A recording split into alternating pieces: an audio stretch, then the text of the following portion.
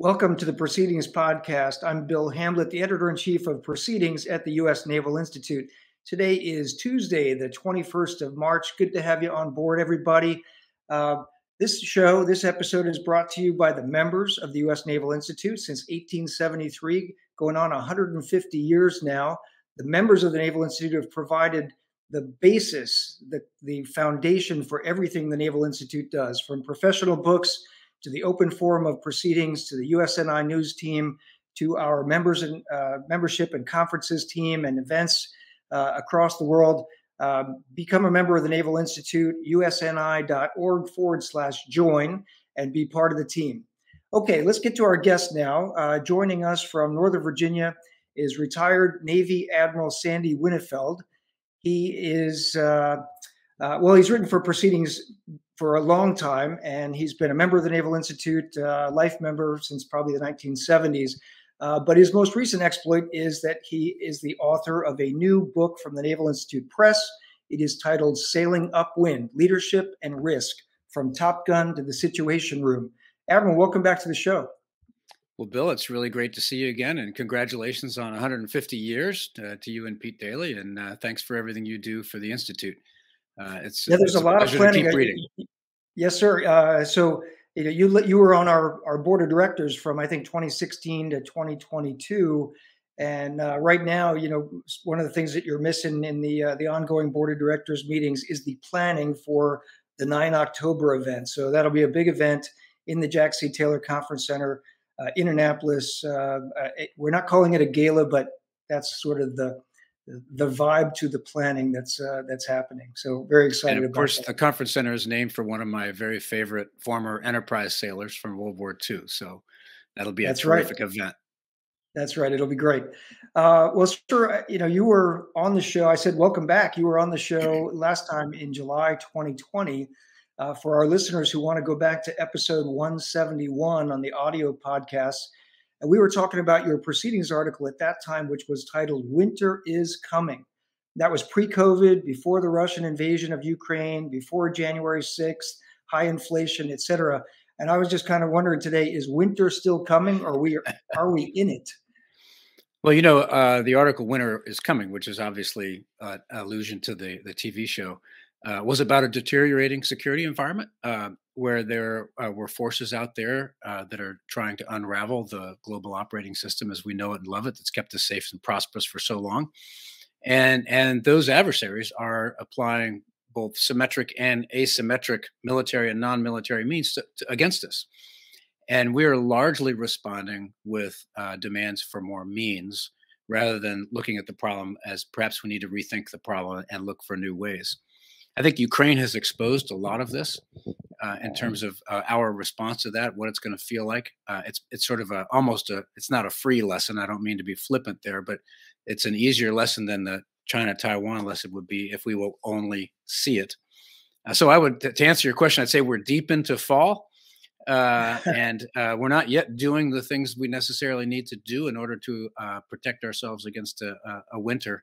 but you know, who knows? We may get there we may get there. All right, so let's uh, let's dive into the book a little bit. So, sailing upwind. Just start with the title. What, what's the reason behind uh, calling your book "Sailing Upwind"? Well, you know, as a kid, I, I learned to race sailboats on San Diego Bay uh, as a you know a junior high school kid. And you know, when you're racing a sailboat, you're fighting wind and current. You're trying to make an object move against a prevailing force field, and I found that uh, frequently during the course of my career that I was pushing against a, an existing system, trying to change it, uh, starting as a young junior officer all the way up until I retired. And so it felt like uh, sailing upwind was an apt metaphor uh, for to try to capture how I made it through my career. Agreed. Um, so let's start with a little bit of your your early career. So you you were a student at Georgia Tech, NROTC. You graduated from uh, from Georgia Tech. What was that? Late, late 1970s, and yep. then off to flight school. So talk us through a little bit of the the start with flight school. Later on, you went to Top Gun as a JO. Mm-hmm. Um, sort of the sort of living the dream, uh, particularly these days, as people think about you know Top Gun Maverick, and that's still very much on the you know the American mind.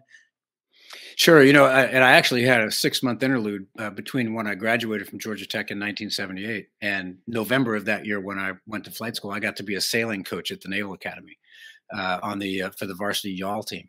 So I got to do a little more sailing upwind at the very beginning of my my career. But I did nice. did go to flight school. Uh, got through uh, reasonably quickly at the time because there were a lot of pools and such.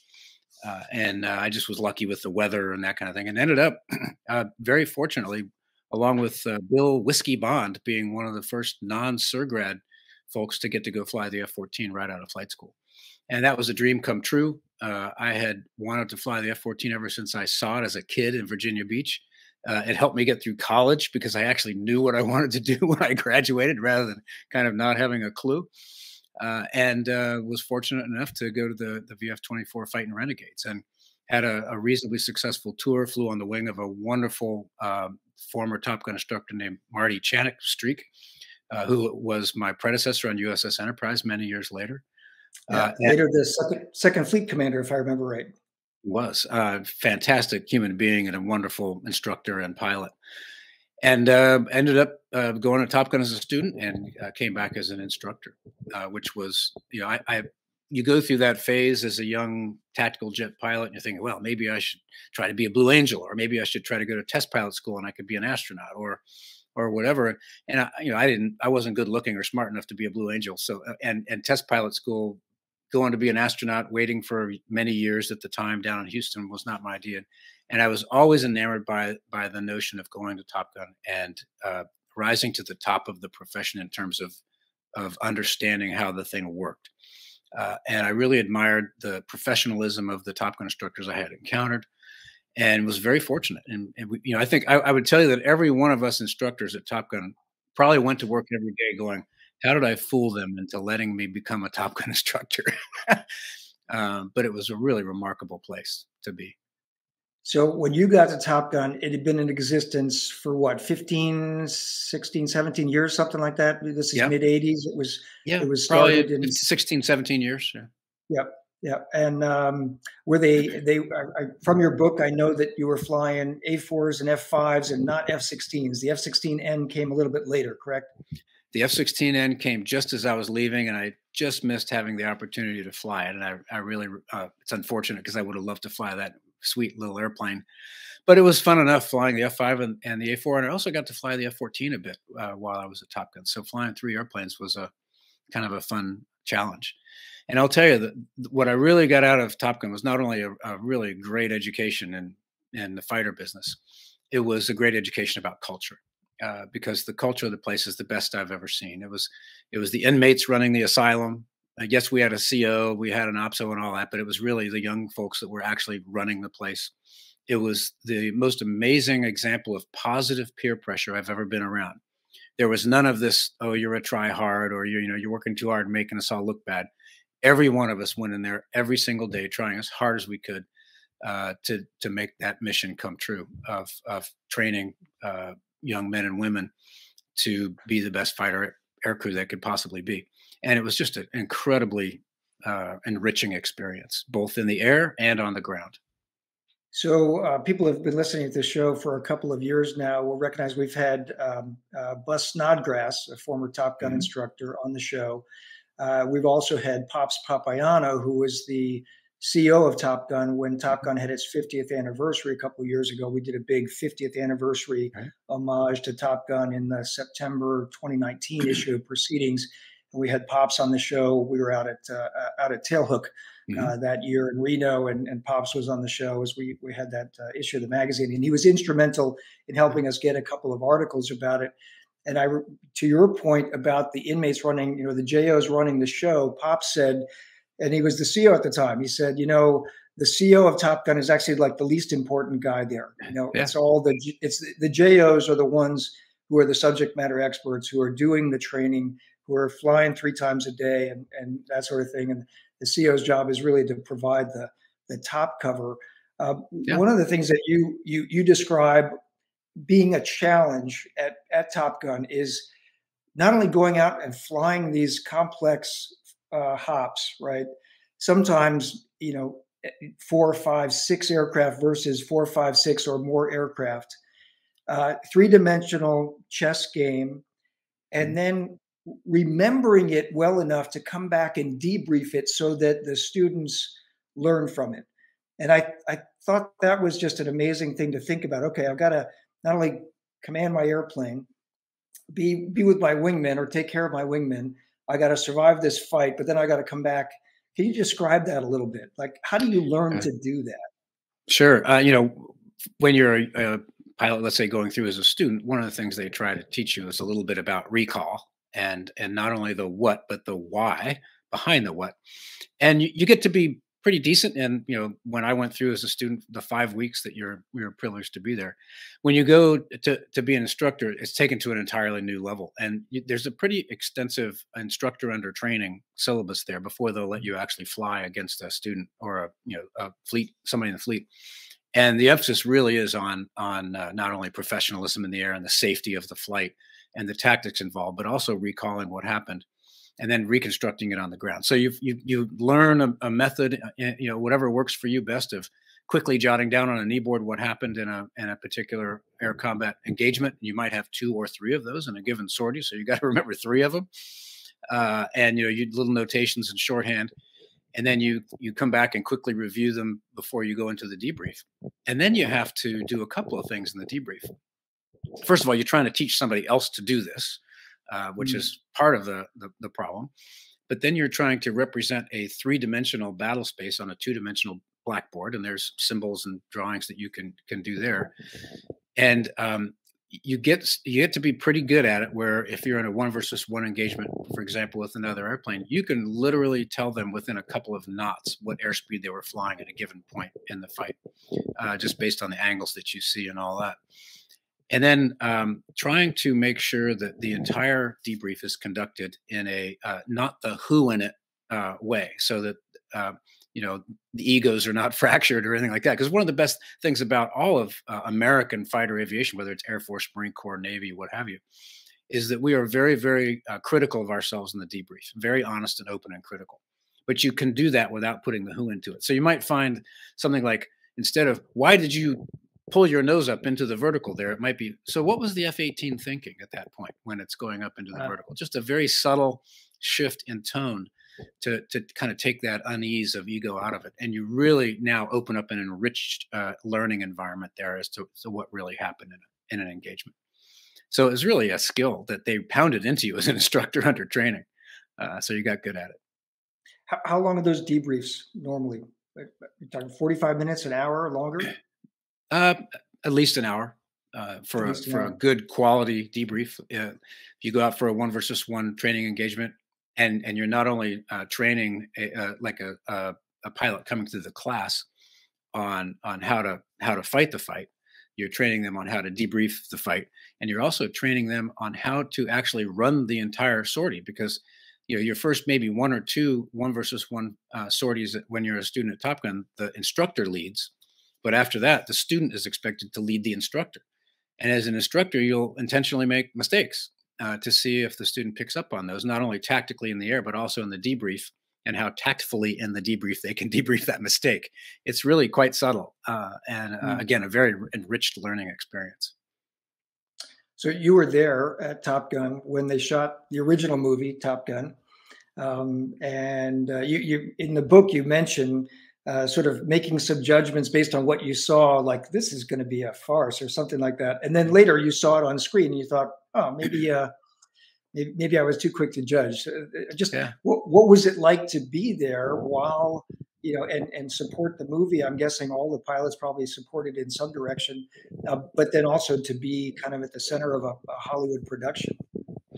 Yeah, it was. I think the most interesting thing for me was not necessarily the flying part of it or anything. It was actually watching these professional movie makers uh, on the ground, and they mm-hmm. would say uh, put together a scene where there would be a classroom, and and the classroom scene would be in the in a hangar uh, with an airplane in the background, and we would watch from a distance and go, "These people are crazy. This will never work. It's we don't do that. We we teach in classrooms like everybody else.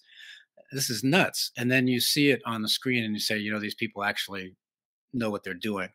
And it really taught me a lesson of uh, be careful about being critical of people who are in another profession doing what they do because they're probably pretty good at it if they've reached that level and you're just an amateur. So uh, but it was it was fun and, and i also uh, you know people ask me about the second movie the most recent one. And you know there are cringeworthy movement moments in both movies right where if you know the business you go oh that would never happen. But yeah. it captures a lot of the feel. And the thing i think they did exceptionally well in the second movie was capture what it's like to operate to fight an airplane under G, because they had cameras on Tom Cruise and you can see his face, you know, under all this G, right. trying to manage, you know, an airplane, not hit the ground, don't run out of fuel, manage your weapon system, keep sight of the enemy, think tactically, and do it all under six or six and a half Gs. I thought they did a really nice job of capturing that in the second movie. It was harder for them to do it in the first movie because they just didn't have the technology. Yeah, at uh, I guess it was la- well the the last two times that there's been a tailhook convention out in Reno in person, they've had first they had the Hollywood presentation a few years ago before the, they had wrapped up the the production of the movie. Of course, then they had to wait because of COVID. And then last year they had uh, all the Navy folks who supported the movie talking about you know the the Navy's role in it, and, um, and both of those panel discussions were fascinating. But yeah. the um, this past year, they had um, uh, the, the, the lead cinematographer who's also a pilot, and the you know the the tailhook folks who were part of it, the naval aviators, gave him incredible praise for how good a pilot he was hmm. in designing designing the shots, getting the uh, L-39, I think it was the, the aircraft that had the special camera that did a lot of the air-to-air aviation um, you know, in the right places at the right time. So anyway, just how they made the movie was the, the air scenes was. Uh, so, was so here's a little scoop, a little bit of a scoop for you here. Uh, so when sure. I was a young um, lieutenant commander uh, in VF1, and and we were arcing around off the coast of of uh, um, Iran. Off, off of Chabahar airfield, and they had F4s out there or something, and we were supposed to protect yep. the aircraft carrier. It's kind of boring, right? So I started to write a novel uh, and I never finished this novel, but it was a novel about a guy who has to jump out of his F 14 because he has a, a, an aircraft emergency. And his parachute seat malfunctions and it opens higher in the air than it's supposed to. And he drifts ashore into Iran. And so now he's evading yeah.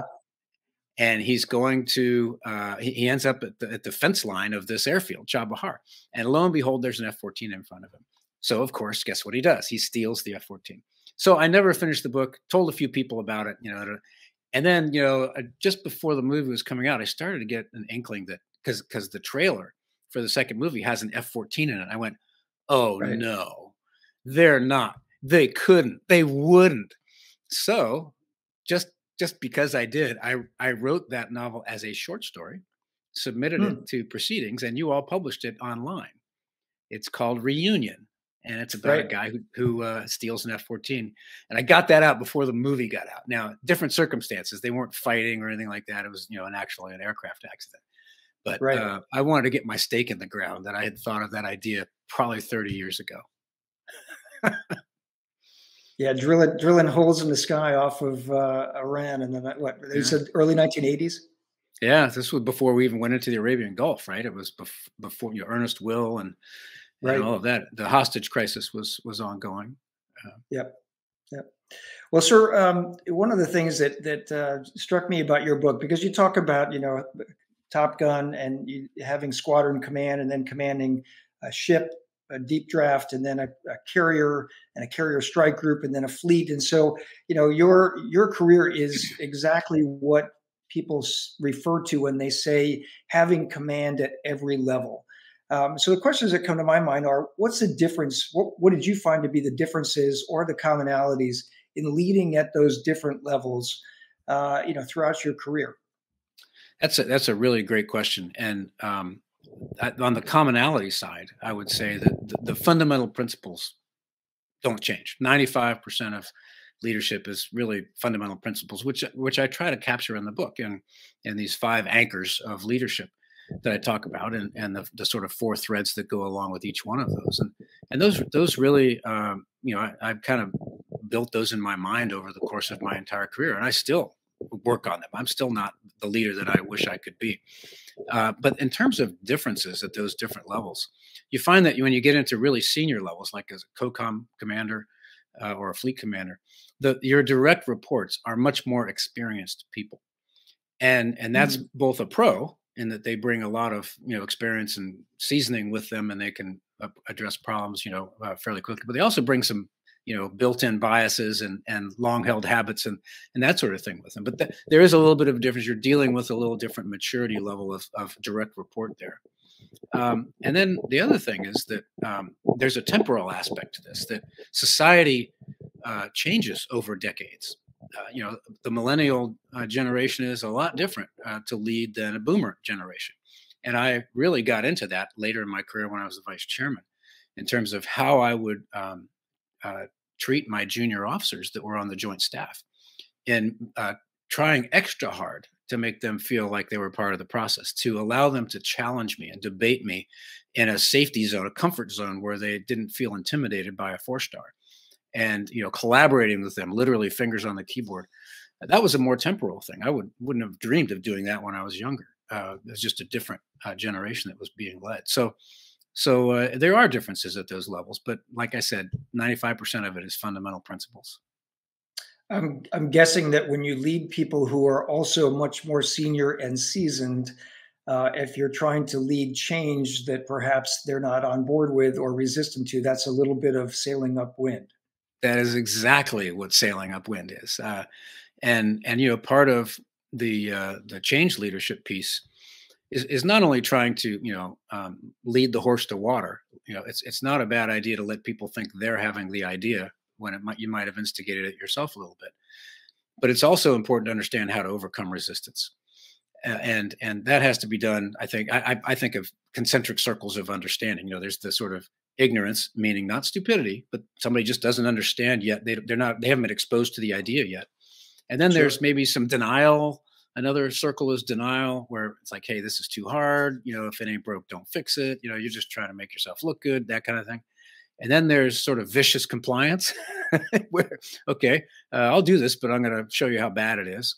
And then there's sort of this, you know, uh, well-intended misapplication where people start to think, hey, this actually is a good thing, and they think they've got it, but they don't quite have it. Uh, mm. Uh, and and then there's you know this sort of now they get it and it's embedded in their body of practice and they become a champion.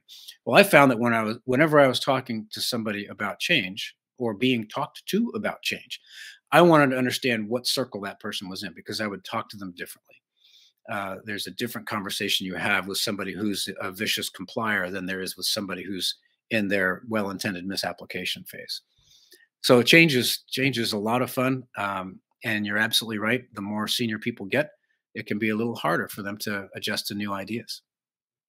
Did you find that uh, leader, leading at those different levels, uh, you know, squadron, ship, CVN, strike group, numbered fleet, etc. Did you enjoy it at more at one level or another? Was there a leadership tour that you're like that is that was the best job I ever had, and another one where like uh, I would I wouldn't redo that one if I didn't have to. Yeah, I think you know the the, the shore a shore based leadership job I had at Joint Forces Command was a job I'd never want to go back to. I was leading uh, uh, senior civilians who who were at each other's throats, and it just wasn't an enjoyable experience uh, I, I, think the the most uh, challenging and fun at the same time leadership job I ever had was being the captain of USS Enterprise, just because mm. it's just there's just sheer adrenaline uh, when you're at sea. There, you know, it's a 24 hour a day job. You're leading the most amazing department heads. They're at the pinnacle of their profession. Uh, the the young kids out on the flight deck and in the nuclear propulsion plants. It's just an exhilarating experience to do something at that scale. Uh, but leadership is good. Run to the sound of the guns, man, because leadership is fun. Um, you you know your your title is leadership and risk from Top Gun to the Situation Room, uh, White House Situation Room, mm-hmm. and I really enjoyed that paragraph especially. And a, a lot of our listeners, particularly young people, I know when I was an ensign, probably up to being lieutenant commander, I had no insight at all into that level of decision making. And you point out that you were privy to uh, meetings in the White House Situation Room probably 1,200 times or so in your career. And I was wondering if you could just sort of explain the process a little bit and then describe how do a lot of the talking heads get it wrong? Yeah, you know, it's really fascinating to plunge into that process and see how the sausage is really made on on the highest level of national security decision making. You know, are you going to rescue a hostage? Are you not going to rescue a hostage? You know, whatever. Uh, compared to you know what perception was that I had before I got in there, and it really, for one thing, you know, there are different layers of meetings. There's the policy committees that are you know sort of the worker bees and then there's the deputies committee where a lot of the work gets done because you've got the deputies of all the departments you know secretary of state and all that and then the principals and then the nsc which is the the president.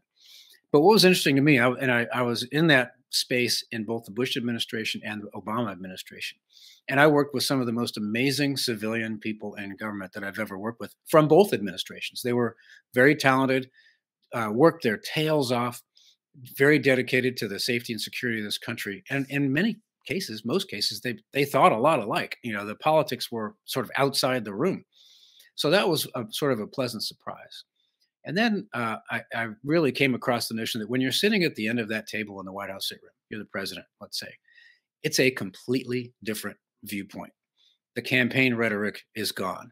The media is gone. You are you now have in your hands the the lives of young Americans uh, who could potentially be fighting overseas. You have the future of the country. You know, it's a very serious place where very serious decisions are taken. And one of the things that um, you, you asked about where the talking heads get it wrong, you know, most of them have never been in that sit room. Even some of the retired military folks you see on TV have never been in there. And they don't realize, for example, the importance of international law, uh, where, you know, there are now, without giving you a tutorial, there are really only three instances under international law where you're allowed to use force. Uh, one of which is, of course, self defense. Another one is when you have a UN Security Council resolution and that sort of thing. Well, most people never think of that. They just sort of throw out these flippant comments like, hey, let's go just do this. Well, if you do that and you do it outside of international law, then you're inviting other countries like Russia, like China, to also operate outside international law. And it's a real restraint. And just about every meeting I ever went to in that room had a you know a, a, segment devoted to the lawyers talking about what's legal and what's not legal about what you're talking mm-hmm. about doing. Uh, one of the reasons we had so many meetings, but uh, and so the talking heads just completely missed that. They really don't have any understanding of it. What were you know uh, one or two meetings or or issues that uh, you know that perhaps our listeners would would remember back to uh, that happened in, your time when you were the vice chairman of the Joint Chiefs, you know, sitting in the sit room? What were what were a couple of those big decisions that you were part of the, the conversation with? Well, there were a lot of them. Uh, among them were um, what we were going to do about uh, Syria when Syria started falling apart, and you know, uh, Assad was killing his own people uh, and you know there was an awful lot of pressure for us to you know do something. Well international law makes that very very difficult for you to go interfere in another inside another country a sovereign country. And so we were looking for ways to get that done uh, in, in, in, an overt way rather than a covert way. And those were some very very difficult decisions. And then uh, right in the middle of that isis happens. And now mm-hmm. you have iraq and western half of iraq has fallen and everything changes because we can now um, actually defend you know we have iraq asking us for help so now we're allowed it's, it's a collective self-defense thing. So so a lot of those types of decisions um, but, but probably the most uh, interesting ones for me were when we wanted to go either capture a terrorist or rescue a hostage. And that's where uh, my interplay was between the special operations community and essentially the white house and and I would I was expected to go in and describe to people who were not steeped in military affairs how we were going to go about getting this job done and what the risks to the mission were and what the risks to the force were and all the ancillary details to satisfy them that giving a yes to that operation uh, was the right thing to do. And we we all, always got a, a, yes except for one time when we got a no and the secretary of defense uh, said no and then after, you know, when that decision was rendered, to even further build their confidence in our special operations forces, we would take uh, an operator and some communications gear into the White House, and we would allow them to watch overhead video of these operations. And I allowed them to do it under one caveat. You know, you can ask any question you want to ask, and I or the special operations person here will try to answer it.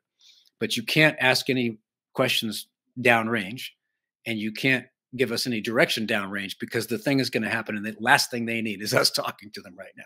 And they respected that. But it, watching the professionalism of our forces on the ground really built their confidence uh, so that they were more willing to approve the next one. Uh, and so that was sort of an interesting part of that whole process. But all kinds of different meetings as you can imagine. Yeah and uh, you, you, point out well in the book I, I thought that, that you know when you have uh, a deputies committee, as you said, so that's you know in your capacity as the vice chairman of the Joint Chiefs, yep. you were a deputy, right? The chairman right. is a is a principal. The right. NSC is the president plus the principals, and yes. sometimes those those working level meetings, and so on, on the on the counterterrorism side, as a counterterrorism steering group, right? Uh, secure, mm-hmm. counterterrorism security group meeting right. before a deputies committee. So sometimes those meetings, um, a, a, a meeting convenes a recommendation is made to go up to the next level. And then you might look at it at that level and say, no, no, no we're not ready for prime time and push it back down. So sometimes an issue can go up yeah. and down the level of yeah. uh, sort of chain of command or chain of sure. meetings, if you will, before you ever get to a, a decision. Oftentimes, it, many times, right? And it sounds like it sounds like uh, you know a, a, system designed for paralysis, but in fact, it's a system that really is uh, sometimes catches really important things uh, that that were not thought of. You know, when you have some pretty smart people in the room that are coming from different disciplines, treasury, state, they'll ask a question. You go, oh, you know, okay, uh, good point. We need to go kind of work on that. And you know, it, we didn't get get sent back to do our homework very often on those kind of things, but some of these are very difficult issues. And the one thing I will say is is that domestic politics never came into it. There never once in all those thousand or so meetings did I ever hear somebody say, well, you know, if we do this, then it's going to help us with the election or anything like that. It just flat was not in the room. Now, maybe it happened outside the room. I don't know, but it was completely professional inside the room. And the closest we would come to that is like, how is this going to play with Congress? Yeah. yeah but, yeah. you know, th- that wasn't a political thing. It was like, hey, are we going to get any, and let's make sure we inform Congress of this thing we're about to do. Uh, so pretty interesting. Yeah, definitely. Um, so we're running a little skosh on time here. Just uh, last couple of questions. So your book, you you mentioned five different leadership anchors. Uh, right. What are they, and could you describe you know one or two of them in depth? Yeah, the anchors are what uh, you know. I believe that leadership, learning about leadership, is is requires study. It requires observation of good and not so good leaders and it requires you know obviously your own running to the sound of the guns and doing it yourself. But i think it really helps it helped me it helps young people learn about leadership to have some kind of a framework on which to hang your knowledge. And i developed a framework over my you know 37 years in the, in the navy that revolves around the five anchors you mentioned. One is leading yourself another is leading people another is leading organizations the fourth is leading execution and the last is leading change. And each of those has a rich set of subordinate threads that that that uh, that are very important to that particular discipline. Just to pick one, which I think is the most important one, is leading yourself, because you, you can't lead anything else until you until you you know how to lead yourself. And the and the the four threads there are uh, essentially character is everything, which in, you know character in, involves you know integrity, uh, courage, and humility. Real humility, not not false humility uh, it involves lifelong um, learning. Uh, uh, for example, if you're a lifelong learner, both deeply and broadly uh, outside your profession, then you will be able to lead change a lot better. So these things are interrelated. Uh, another very uh, important one is, is commitment. At some point in a young person's life, they have to decide that they're going to be committed to something. And, and it doesn't mean committed to becoming an admiral. It means committing to what you're doing every single day uh, and being the very best you can at it. And, and, that kind of committing your, you know, really being all in on a profession is very important, I think, to be a leader. And then last uh, but least, under leading yourself is is managing your own brain, and by that I mean uh, managing stress. Uh, and that sort of thing, and, and um, you know, we in naval aviation have a have a way of doing that, of sort of compartmentalizing and putting things off in a little box, because when you're trying to land an airplane on a carrier at night, you don't want to be thinking about your finances or your parents' health or your relationship. But there's a lot more to it than that, you know, uh, exercise and you know eating well and all that sort of. But but managing your own brain is very important to be a leader because if people see you under stress visibly, mm-hmm. then they are going to be stressed. If they see you in in an intense situation and you're just this island of calm, well, that's going to have an enormous calming effect on your organization. So uh, it, it's not to be neglected. So leading yourself was uh, the first and most important, but the other pillars are are also very important as well. Great stuff. Um, our last question. Uh, you have a long connection. I mentioned it earlier in the show uh, with the Naval Institute. That connection started pretty early. Um, you mentioned that uh, you you got to spend some time coaching sailing at the Naval Academy after you finished uh, um, NROTC at Georgia Tech, and you met my predecessor, uh, Fred Rainbow. Tell that story a little bit. Yeah. So when I was a uh, a, a I guess a freshman or a sophomore at Georgia Tech, I kind of got the the itch because uh, I had done fairly well in English at, at my high school, and I kind of got the itch that I wanted to write something and because my dad had written a couple of things for proceedings, I said, "Hey, you know, I'm going to try to try to do that."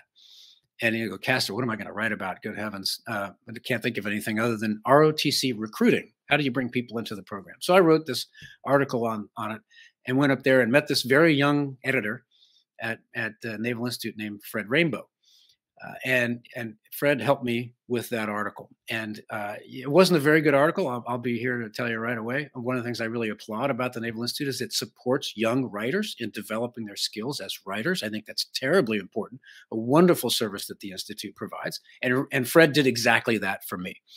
And it it really taught me a lesson that you can think well and not write well, but you cannot write well and not think well uh, and Fred kind of led me down that road. And I'm very grateful to him to this day for kind of getting me started on that and how you approach this kind of a problem. My, Fred and an English teacher I had in high school were my two heroes in terms of learning about writing. Uh, so very grateful to him. Well, I would also point out it's uh, very cool in my mind the fact that your dad uh, won the general prize essay contest. You later uh, won the general prize essay contest. I think you were a lieutenant commander, and then your son LJ, who's a Marine captain. I believe he he's written for us three or four times, but he won the CNO Naval History Essay Contest a couple of years ago. So having three generations of Winnefelds uh, in our pages is uh, that's a pretty cool thing. Well, I'm really I'm proud of my dad. I'm proud of my son. Uh, you know, he does this on his own. He wanted he wanted to do it. He realized the value uh, professionally of of gaining writing skills, and so he's he's been off doing that. And I was really tickled that he won that uh, history contest. That was pretty cool. Yeah, that was very cool. All right, sir, we're about out of time. Uh, any saved rounds or parting shots from you? No, just uh, uh, thanks again for what you do. Congratulations once again on 150 years of the Naval Institute. You know, I I started reading proceedings probably in 1962 when I was a little kid. Wow! And I will never forget. I think it was 65 or so. The the you know USS Enterprise was on the cover of National Geographic, but there were also articles about it in proceedings. And and you know maybe I was looking more at the pictures when I was a kid than I was reading the articles, but it was in my blood. And uh, it's really, really great to see the Institute thriving uh, today. And so, congrats to you and Pete Daly and the whole team. Thanks for what you're doing. Well, thanks for being on the show, sir, and congrats on the book. The book is titled Sailing Upwind Leadership and Risk from Top Gun to the Situation Room by Admiral Sandy Winnefeld. Sir, always great to have you on the show. Uh, wonderful conversation today. Thank you for your time. Thank you, Bill. It's good to be with you. All right. Well, that wraps up another episode of the Proceedings podcast brought to you by the members of the Naval Institute since 1873, bringing an independent, open forum for the advancement of sea power. To become a member, go to usni.org forward slash join. If you enjoy the show, ring the bell, subscribe to our channel, tell your friends, and until next week, remember victory begins at the Naval Institute.